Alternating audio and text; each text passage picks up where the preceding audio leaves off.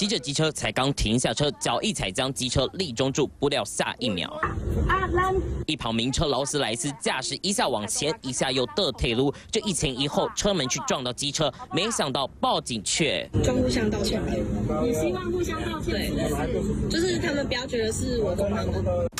说是道歉没问题，但整个过程遭撞骑士的母亲在脸书上痛批肇事的驾驶撞车在先，还彪骂骑士，甚至痛斥女子是要诈他的钱，不断喊着一万够不够，还说自己认识当地远警，没想到警方到场却是阿谁啊？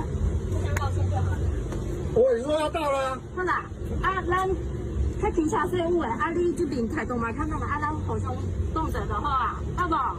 好不好？骑士的母亲指控息事宁人的办案过程完全没有教育孩子的效果。刚好停好车要拉那个中度，劳斯莱斯刚好转进来，然后刚好就稍微碰碰到一下。是一个男驾驶，阿姨在一幕，女骑士跟那个劳斯莱斯的车那个女主人，他们就互相对不起而已啊。肇事的五十四岁王姓男子摆架子抬出警方，如此的办案，警方遭到指控，这样回应：我们到现场，他们双方当事人是说他们要自行和谐。他说他认识呃，这这种不了解，嘿，因为我们是不不太不认识车主这样。驾驶这技术撞人在先，还抬出警方指控对方诈财。心疼女儿的母亲脸书发文，网友一面倒痛批驾驶太夸张。三立新闻吴一中、钟祥台中报道。